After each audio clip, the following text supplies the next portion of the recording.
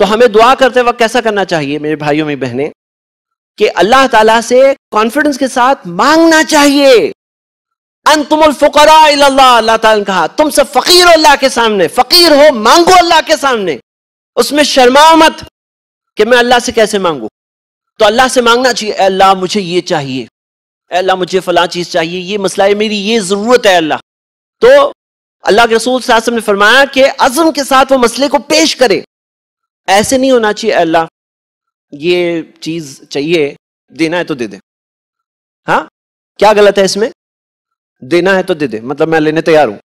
लेकिन ये क्या तरीका है? ये गलत तरीका है। नबी सल्लल्लाहु अलैहि वसल्लम ने फरमाया कि तुम में से कोई ये ना कहे, सही बुखारी की हदीस है कि अल्लाह, अगर तू चाहता है तो ये दे दे, क्योंकि अल्लाह ताला पर कोई जबर, कोई फोर्स नहीं कर सकता। तो अल्लाह से मांगे, अल्लाह ताला जानता है और हमें अल्लाह ताला से मांगना चाहिए, दिल खोल के मांगना चाहिए। इसमें शर्माना नहीं चाहिए, क्योंकि कौन है अल्लाह ताला? खजानों का मालिक है। कौन है?